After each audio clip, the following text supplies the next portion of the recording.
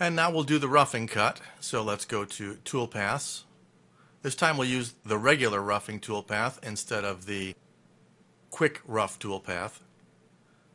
So we'll select rough. Chain manager comes up. We're doing a partial chain.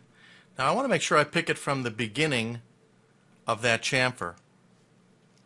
And I'm just rolling the wheel on my mouse back and forth to zoom in and zoom out.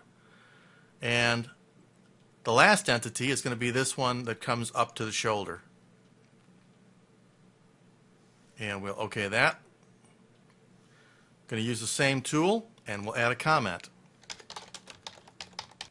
And I'll just say rough turn the part. Now for our roughing parameters, I'm just going to go with the default depth of cut.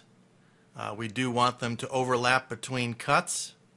We're going to leave 10 thousandths in X and Z. Most of this looks pretty good. We're going to go with the defaults and say OK.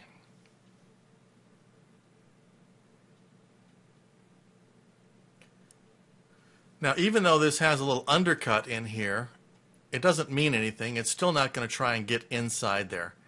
You'll notice if we zoom in, it just goes straight across. It's not trying to dip in there.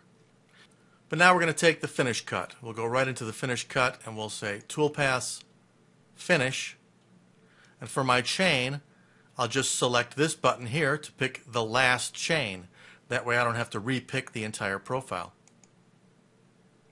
And we'll OK that.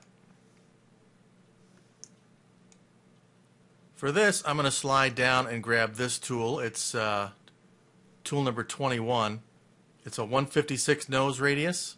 If we double click on that, it tells us it's a VNMG 431. So it's a 35 degree diamond type insert. Okay, that, and we'll add a comment. And we'll just say finish the profile.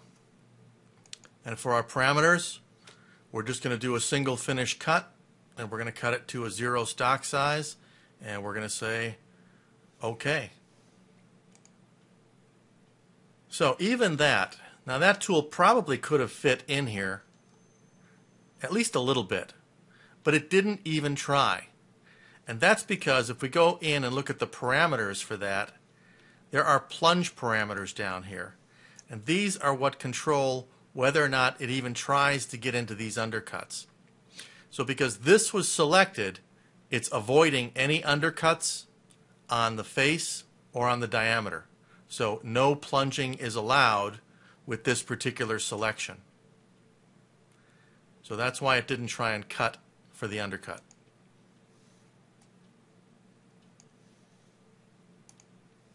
Now if we do want to get in there to cut that, we can go to toolpaths, we're going to do another finishing routine.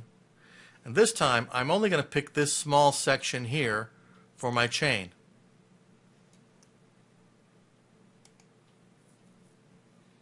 Going to use the same tool. And I'm going to go into my finish parameters. The first thing I'm going to do is tell it that it's okay to plunge. So I'll select my plunge parameters and I'm going to tell it it's okay to plunge in on the diameter. Although I could pick this one.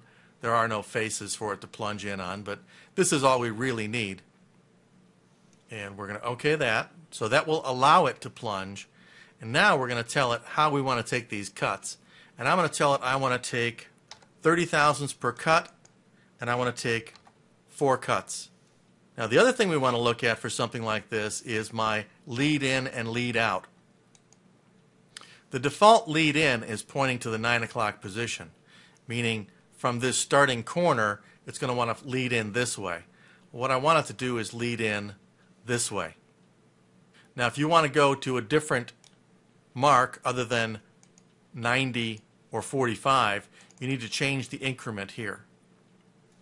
But we're going to lead in at 45. That'll be good for the lead in.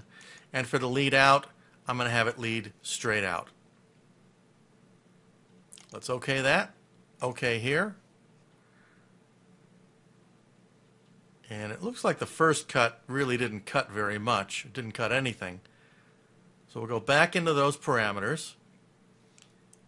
And I'm going to change this to three cuts. And we'll regenerate that.